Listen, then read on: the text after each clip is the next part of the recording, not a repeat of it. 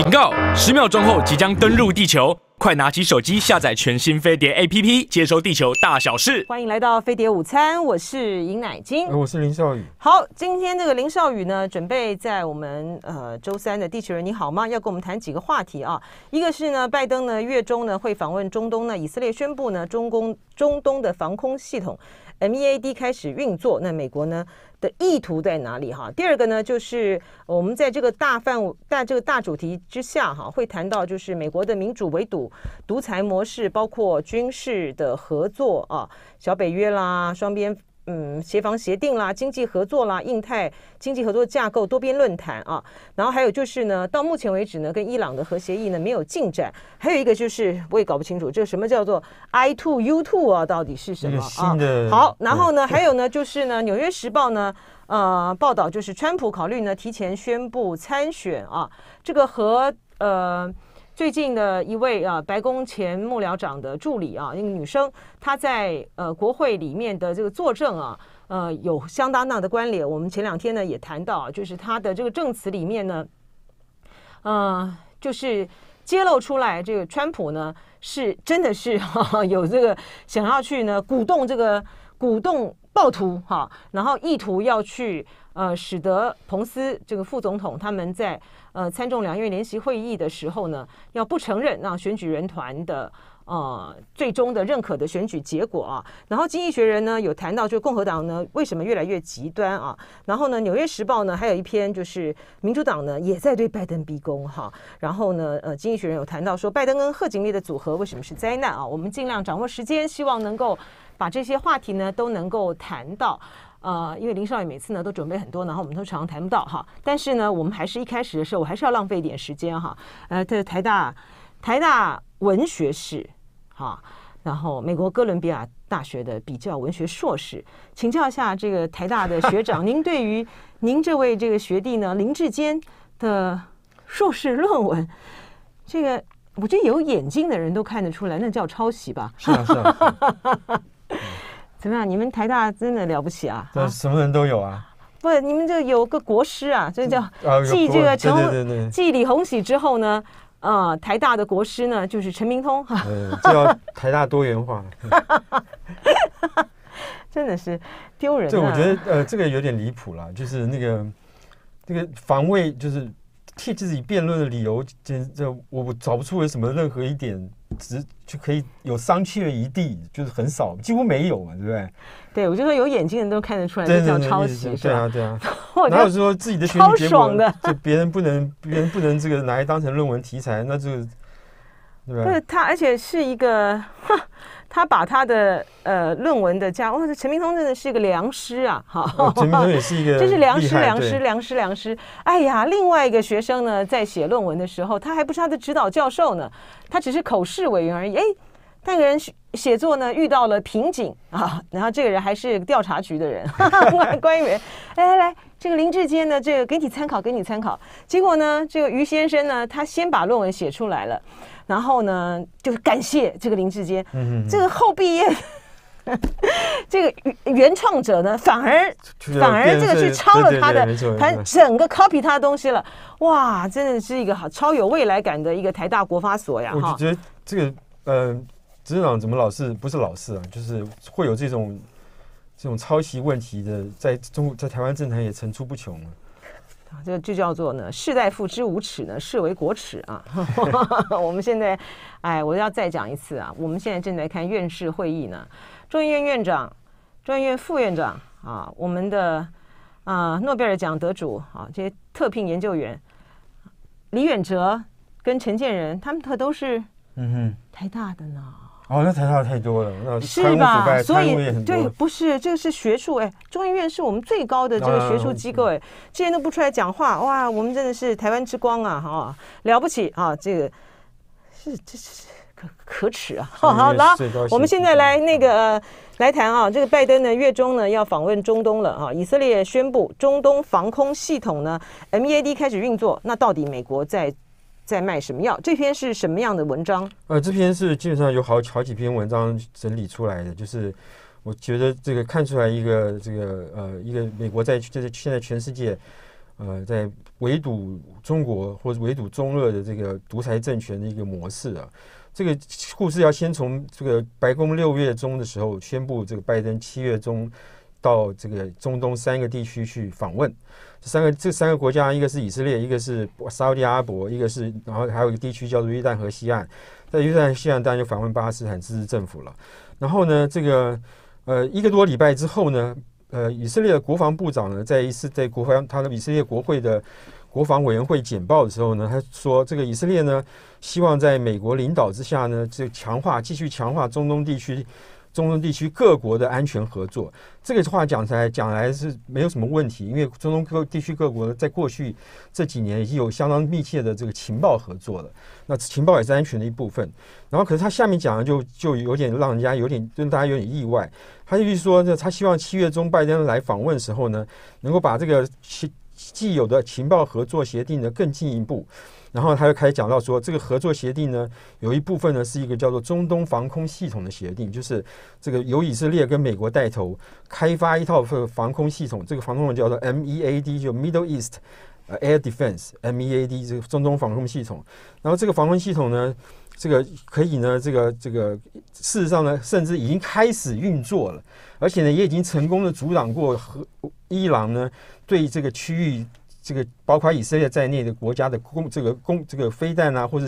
无人机的攻击，那这个话讲出来以后，就让大家吓一跳。原来原来这个以色列过去几年跟中东其他阿拉伯地区国家的这个安全合作，不仅仅只限于情报的交流跟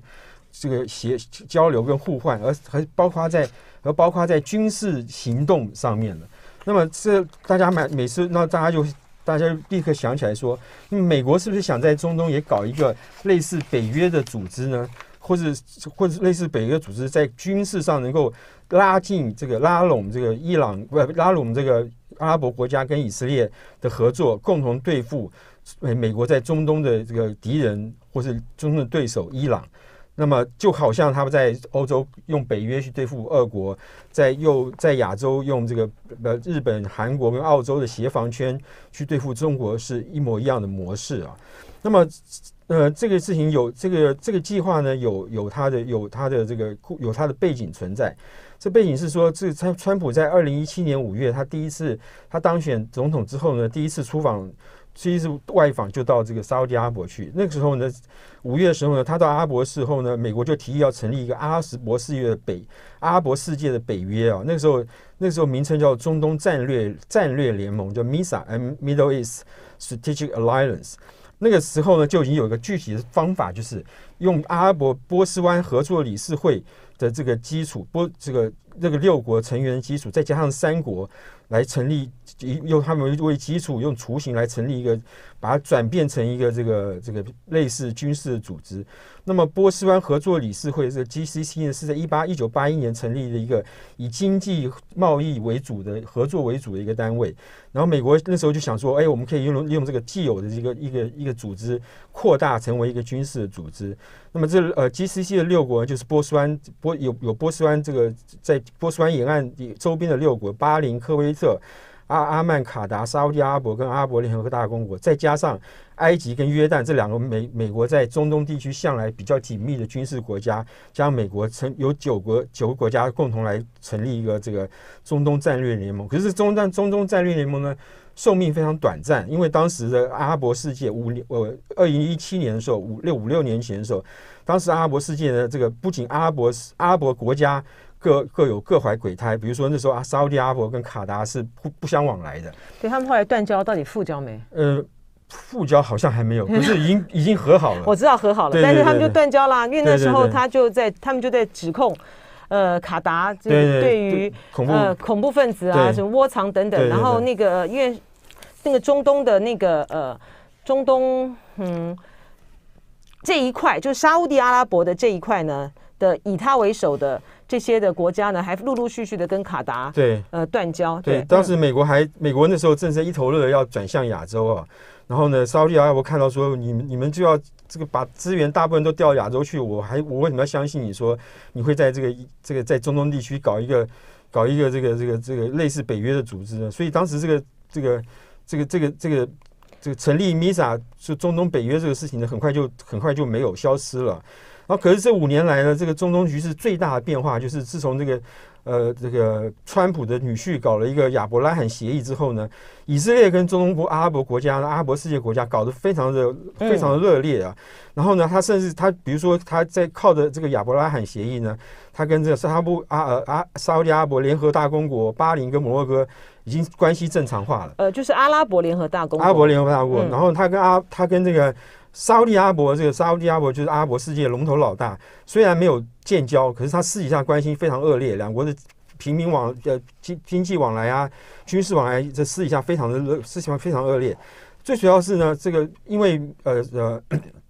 那个呃以色列的铁穹系统在对抗哈马斯的恐怖。这康马斯的这个活动的时候呢，发挥非常大的功效啊！这个全世界都知道这是一套好系统。嗯，然后所以其他阿拉伯国家也想跟以色列买这个系统，而且有有摩洛哥已经付了签了一个五亿美金的协定，要去买阿拉伯买买以色列的另外一套防空系统。然后呢，前一阵子呢，大家看到这个以以色列军机呢，在这个阿拉伯联合大公国的机场这个起降。而且是货机，大家怀疑说，哎，这两个国家是不是已经签了一些军事这个采购的协定，而且已经开始交货了？因此，这个以色列现在跟阿拉伯国家可谓可以说是处的非常非常好。那么这一次呢，拜登去这个中东地区访问，在阿拉伯的时候，在这个以色列的行程有一站，就是他也要参加这个。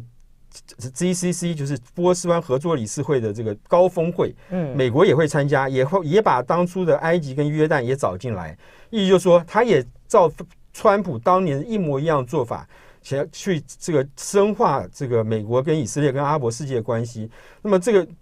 而且他是仿效川普当年去利用这个阿拉伯波斯湾合作理事会去成立这个中东的北约的做法。那大家想到这个。外界想到想到这个当年川普做法，想说，哎，美国是不是真的这次想要在这个中东地区呢搞一个北约？嗯，好，那所以这里面呢就牵涉到有关于这个呃铁穹，对对，铁穹还有这个 M 一呃 M 一 A D A D 啊 M 一 A D 的系统，它们到底的差别和发展是怎么样？呃，铁穹这个这个铁穹防空系统呢，这个那个时候呢，虽然在全世界武器市场、军火市场、国防部个防卫圈里面出尽风头，可是有个最大的问题就是，哈马斯跟其他恐怖分子呢，对美以色列发射的飞弹或火箭都是非常这种，就是初级的，或是这个这个这个有点像土制炸弹一样，这个比较粗、比较粗糙一点的飞弹，因此它成本非常低。可是呢，美国呃不是美国，以色列不管从爱国者爱国者飞弹到这个铁穹飞弹，这每枚每一枚的单价成本都比这个这个它的对手造造价来的高，是，所以这就显得非常的不划算了哈。对，虽然非常有效，可是很不划算。对，但是呢，阿拉伯这些国家呢，中东这些国家很有钱，所以呢，买起来呢可以不手软。好，我们继续请林少宇来跟我们谈拜登在呃。七月十三号、十六号要访问以色列、约旦河西岸，也就是巴勒斯坦自治政府，还有沙特阿拉伯。然后以色列宣布呢，要以就是跟那个美国呢合作的中东防空系统 MAND 早就已经开始运作了。那它跟铁穹飞弹，刚才讲到铁穹飞弹呢，呃，因为它比较昂贵，比较昂贵嘛，哈。对。比起这个，就是杀鸡哈马斯他们的这个土制，就有点像土制炸弹啊，或土制飞弹，土制飞弹啊，有点不划算。然后呢，这个划算。那 这个 M 一对，所以呢，美国呢，这个为不以色列为这个这个这这成本的原因呢，它开发一种新系统，叫做 Iron Beam。这个 Beam 就是指镭射光啊，它就是利用这个镭射光，镭射呢去摧毁来这个同步织或是任何敌人。发射的一些小型的这个飞行器，或者小型的这个弹弹药，不管是飞弹、火箭，呃，然后呢，大型的这个威胁，呢，它由铁穹负责。那么这这系统好处在哪里呢？这个这个以色列前总理就刚刚下台、刚刚辞职那个总理 Bennett，他在六月初呢去参观这个叫做这个 Iron Beam 的这个系统的时候，他说呢，Iron Beam 呢是一个决胜负的武器，因为以色列只要每一每一个铁流铁只要免这只要多花两美元就可以击落敌方的这个小型的来袭的这个威胁啊，包括哎，它很厉害，它包括呃击落对方的反战车飞弹啊，无导引的火箭，还有这个无人机啊。嗯，它是在铁穹的衍生型哈，对，它就利用铁穹继承的系统的架构去衍生出来，不不不打飞弹，而用镭射方法去去去击毁敌人的飞弹。那为什么两块钱？因为只要花就电两块美金，两块美金就是因为只有只有只要靠电力就可以了。嗯，对，那这应该是我们要发展的，就叫不对称战争。这个这这个有没有夸张？有点夸张，可是基本上这个方向是正确的。那以色列国会议员呢？这个国防部国防委员会国会议员还说呢，这个 MEAD 系统呢，这个这个可以整合这个中东地区以色列跟其他国家的飞弹系统跟雷达系统，然后呢，甚至呢，将来这个系统呢可以延伸到太空，在卫星上搭配镭射来对付这个这个。攻击这个这个中东地区来袭的飞弹，这当然是另外一个大饼啦。不过这个大饼以前人也画过，一九八零年代雷根当总统的时候就曾经设计过一套星战计划，那个时候就是用卫星搭载武器、镭射武器来防卫美国本土。哇，对。好梦幻哦！哦，那个那可是那个计划，一九八零年代失败了以后，没有没有付诸实行的，到现在为止没有成功过。科技在进步，科技在进步，我们相信以色列。好，来继续。然后呢，那但但是呢，有一个地方就是大家觉得还是很神秘，就是到底 MEAD 到底有中东有多少个阿拉伯国家参加呢？除了美国、跟以色列之外，还有多少个？呃，这个这个名单一直没有公布。另外一个没有公布的就是 MEAD 到底合作到什么程度？这或者说这个。美国以这个以色列国防部长说的中东和这个区域安全合作这样的一个架构呢，除了 MEAD 之外，还有什么其他的地方是中东国家跟以色列跟美国一起合作的？这个也不知道。就不管是 MEAD 的这个深化的程度到多少，或者是整个架构深化程度到都不知道。唯一的线索就是今年三月的时候呢，这个中东国家跟以色列、美国的军方高层，这那是在埃及的西奈半岛最南端有个度假胜地开过一次会。那这那一次会开会的成员国呢？大家是知道的，除了美国、以色列之外，还有沙特阿伯、卡达、埃及、呃阿伯联合大公国、巴林跟约旦。也就是说，这个阿伯联合大公国跟这个这个沙特阿伯这两个阿拉伯世界最大老大老二的国家都参加了。然后美国的这个传统的军事在中东世界玩传统的军事盟友约旦跟埃及也参加了。因此呢，这个看这个计划看起来，如果这个当初参加这个会议的国家就是在讨论。这个 MEAD 的未来的话，那 MEAD 这个未来，呃，成功的机会是是非常大的。那么为什么？那下一个问题就是为什么以色列国防部要透露这个消息呢？有一个原因就是因为这个以色列知道、看到或者阿拉伯国家看到说，呃，现在以呃美国跟伊朗谈判拿不出拿不出什么结果，大家会担忧。那么以色列就趁机替美国这个呃拜登来访做一些铺垫，就告诉大家说，这个计划是美国在出资的。或是美国在一直在领导的，大家可以放心，美国会替中东地区提供一些提供一些保护伞。这个保护伞除了 MEAD 之外，还有一些其他的东西，请大家放心。所以，呃，他们的意思是说，虽然这个伊核协议没有什么进展啊。但是呢，大家也不要担心，因为伊核协议的没有进展，伊朗呢因此而就真的发展核武了。因为呢，美国回来了，然后呢，我们而且还要弄一个中东防空系统，所以担心的还是伊朗，并不是有关于巴勒斯坦的问题。对，然后这个但是问题在是说，呃，所以拜登的这次的访问，他还是在这个逊尼派。呃，以阿拉伯、沙特阿拉伯为首的这个逊尼派，呃，跟以色列之间的和解，然后伊朗这个什叶派，他在那边还是变成是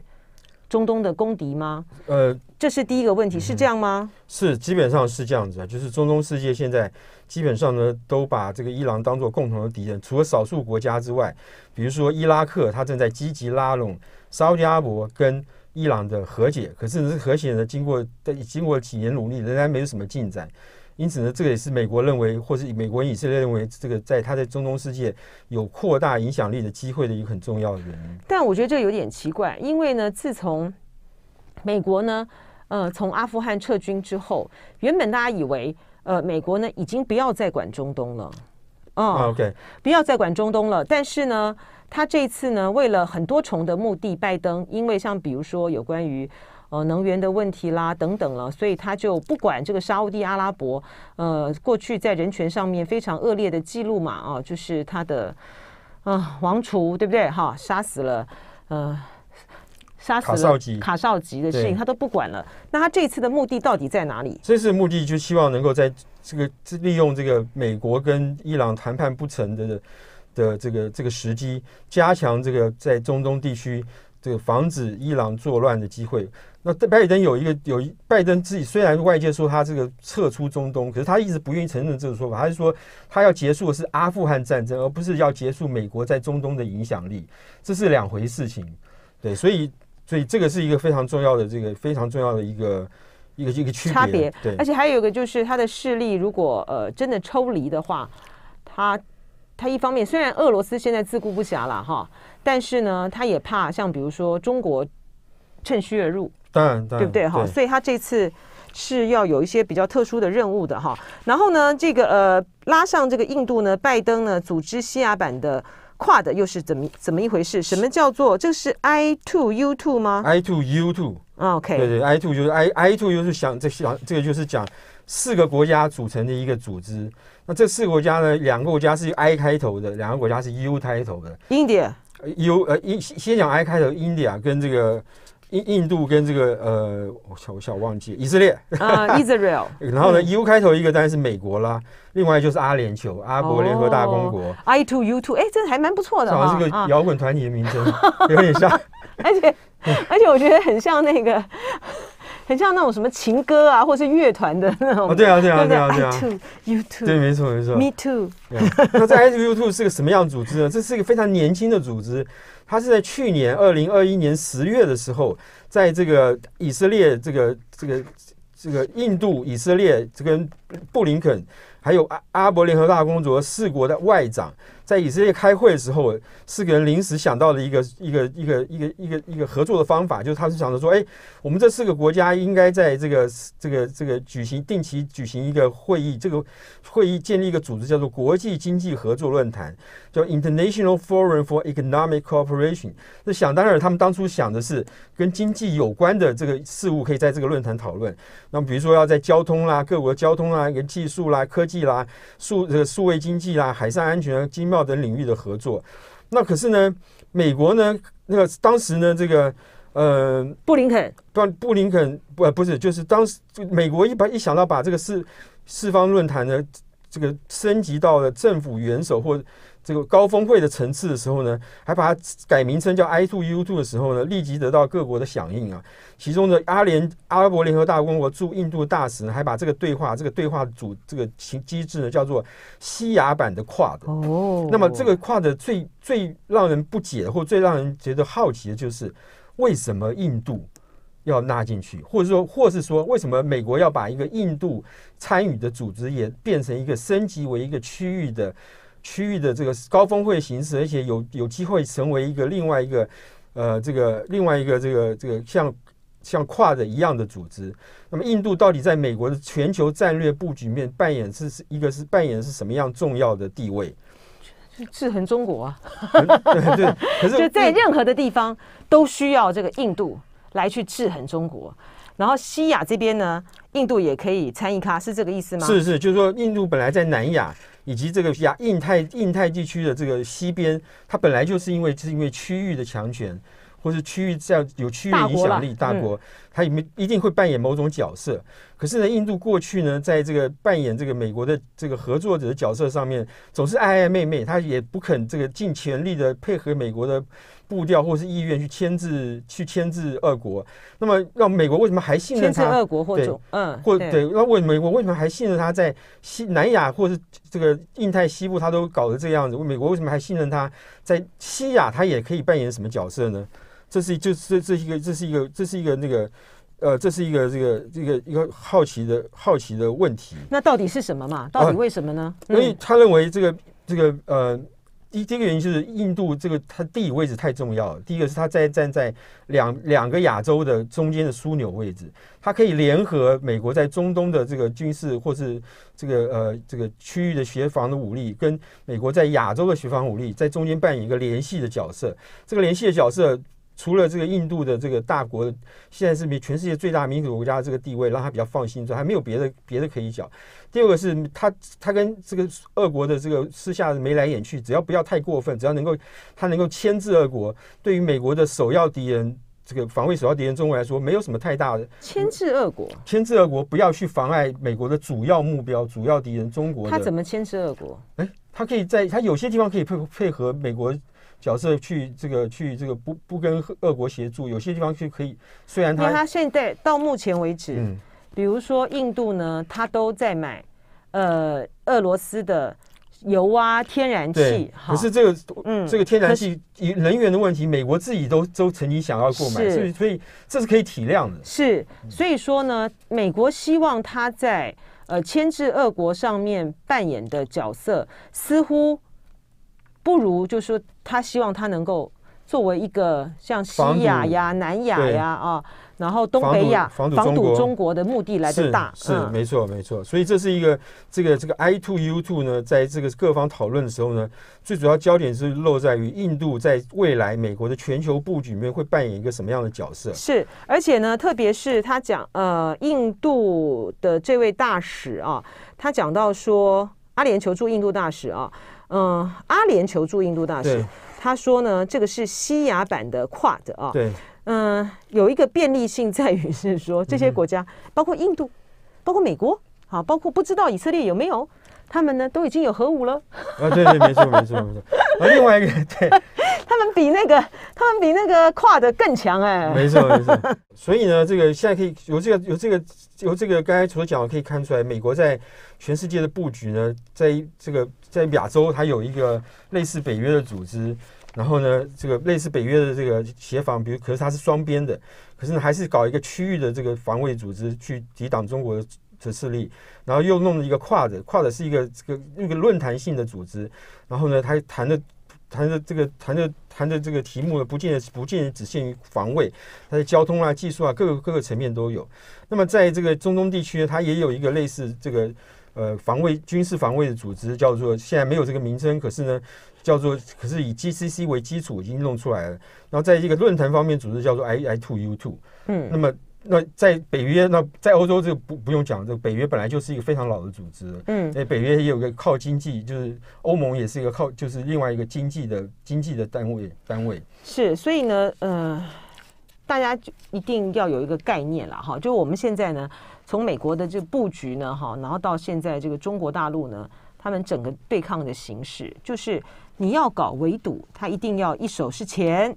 一手是军事。好，那所以呢，美国呢，它的呃用民主的方式去围堵这个独裁的模式，它就是用一手军事，一手呃经济。好，那现在呢，我们要来呃谈的就是说，为什么伊朗核协议呢到目前为止没进展？那这样子，接下来它会有一些什么样比较重大的变化？呃，伊朗核协议没有进展，与其说大家觉得好奇没有为什么没有进展，我觉得更更确更恰当的一个描述是，大家好奇或是讶异，这个竟然这个会还开得下去，这是一个这是一个很奇怪的事情。那最近一轮的谈判是在六月下旬的时候结束，而且那一轮谈判呢非常短，只是两天就结束了。那这些都这些都不讶异。那另外一个不讶异就是这个两国呢争执的焦点呢仍然还是仍然仍然还是上一次导致上一轮结。上一轮谈判没有结果的同样的问题，就是伊朗要求说，美国你要把这个这个伊朗的革命卫队是作为一个外国的恐怖组织的这个这个这个这个这个这个标记给撤销，不然的话我就不会跟你签核协议。美国说这个我做不到，因为这是跟核协议无关的一个要求，跟核核问核协议核问题无关的要求。那美国就那伊朗要求美国说呢，还要求美国说这个你要保证。就算这个拜登下台，美国政府仍然会执行这个今天所签的核协议。那他也没办法保证，也没办法保证。对，那在这种情况之下，那就就没就就是没搞头了，不可能有进展。那至于下一轮谈判还会不会继续，大家也还不知道。对，因此这个事情呢，也可能就这样就这样结束了，也可能会继续下一轮结局。可是下一轮谈判如果继续，双方坚持知道对方不可能去答应的这个条件的时候，那一样是无疾而终。哇，好，呃，我们呢今天呢又学到一个 I two U two，I two U two，这个会在以色列跟呃印度，好，U two 呢就是美国跟阿拉伯联合大公国。对，好，我们接下来要讲美国政治啊，《纽约时报》一个报道说，川普考虑提前宣布参选，然后《经济学人》来分析共和党为什么越来越极端。那为什么《纽约时报》又说民主党要对拜登逼宫呢？在逼什么呢？好，那为什么拜 拜登跟贺锦丽的组合是灾难？其实我们现在已经看到是灾难了。好，来一下，先从川普要考虑提前宣布参选谈起来。川普最近有呃，大家会觉有很多美国人觉得他，或是美国政治观察家觉得他很憋。最主要是原因呢是美国的这个众议院的一月六号的这个调查委员会，这个在最近在一连串的几天连续几几次的调查之后呢，推出了一个明星证人。这明星证人就是 Hutchison，他是一个白宫幕僚，当时川普在白当总统的时候，当时的白宫幕僚长的幕僚的助理对的助理。然后呢，他当时呢是跟川普就是决策间非常接近的一个人，他他目睹了很多事情。他出来作证，这个指控川普说，川普事实上是知道那些这个一月六号这个国会山庄暴动事件那些那些暴民，他们是有携带武器的。而且他们还意图呢，要这个进去国会，国会去这个去这个施暴。那么这这两这两件事情，这川川普过去都是否认的。那现在有一个这样的一个明星证人出现，对川普的威胁来说是非常非常大的。那么这个这个明星证人为什么是明星证人？因为第一个她是女性，第二个是她是标准的保守派。那么在这种情况之下呢，川普觉得这个威胁变变大。川普为什么觉得女性威胁变大？是因为女性，尤其是郊区女性的票，是他上次选举中失掉最这个两个最大票源中的一个。那么这，所以他这也是为什么他在这个美国最高法院通过这个废止堕胎合法化的决议的时候呢，他这个基本上没有什么声音的原因啊呀。所以这对他不见得有利，对对他不见得有利。他当他在这个这个这个这个还没有决议还没有出来的时候，他就说这个。因为这个共和党实在是不应该推这个事情的，不过不管了。那么这个，所以这个这个证人对证词对川普来说呢，是一个非常大的威胁，会会有伤害。因此，他要维他他要阻止这个威胁或伤害扩大呢，他就必须要这个做这个这个另外一种打算。他打算是呢，这个在。提前一年宣布他要参选二零二四年的选举。通常美国的这个总统参选的日宣布候选人有意这个参选总统的人呢，都在其中选举过后，在这个这个投票日投票日的前一年宣布参选。他川普如果真的要提前参选，他会他会等于是提前两年。这提前两年呢，共和党共和党里面呢认为这个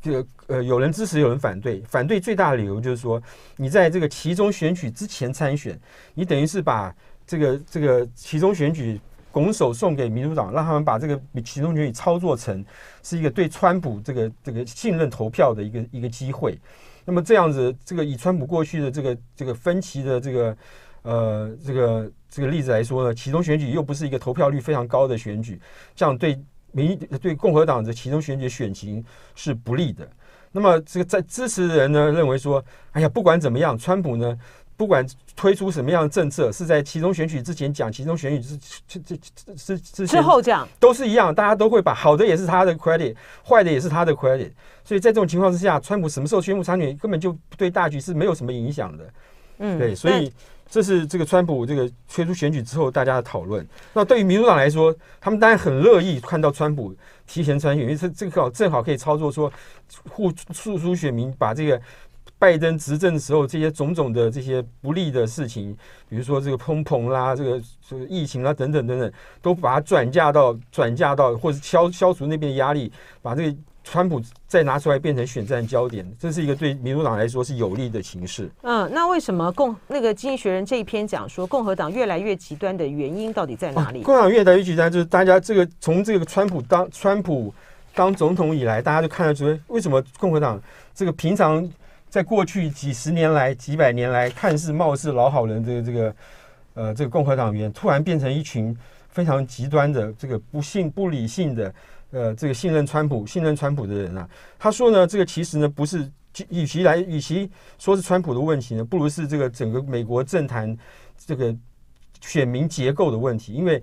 共和党长久以来，他所得到的选票的选票的比例，跟他所占的席位的比例是不相称的。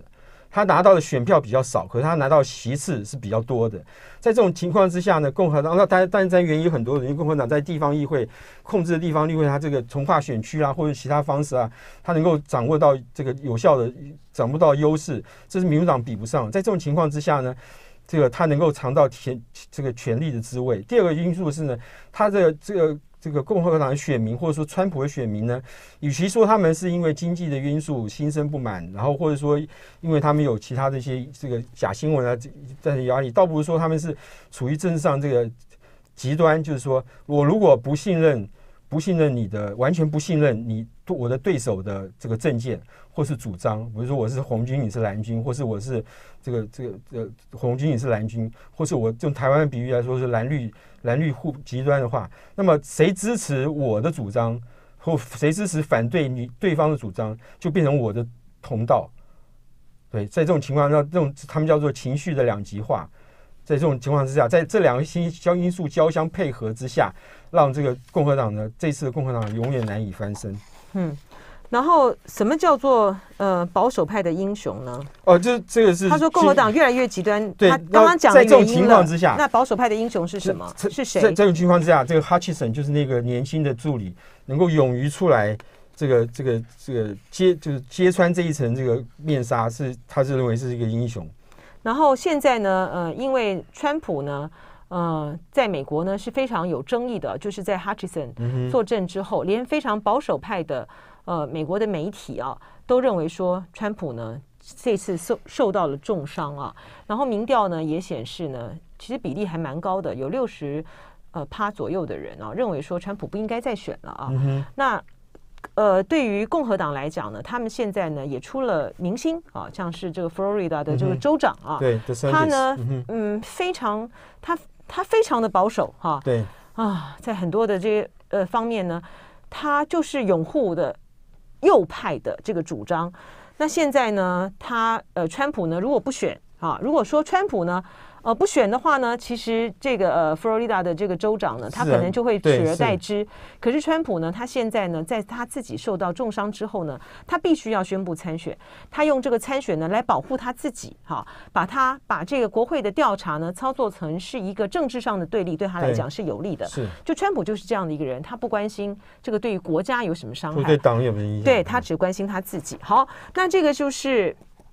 呃。保守派的英雄，这个就是 Hutchison 哈。那现在呢，对于《纽约时报》来说，他呃揭露的这个共和民主党的逼宫，在逼宫什么呢？呃，这个逼宫从一个很有趣的故事开始啊。他说，民民主党的这个拜登在六月初的时候啊，这个在六月在六月初的时候，这个大家还记得另外一个民主党的大将叫 Bernie Sanders 那位老叔叔啊，他说呢，如果拜登出来竞选连任的话，他不会出来，他已经在二零二四年出来的话，他不会跟。拜登出来这个挑战拜登，拜登呢这个高兴的不得了，在第二天晚上，就是 Bernie Sanders 讲话讲这话，第二天他就邀请 Bernie Sanders 到白宫来吃晚饭。嗯，那么这件事情可以看得出来呢，这个拜登呢急需要一个这个终于急需要这个未来这个二零二四年跟他挑战的人来跟他效忠，说你放心，如果你出来，我就不会跟你这个我就不会来挑战，不会再来玩了。那由此也可见说，他面对的压力在党内。面对的压力有有多大？这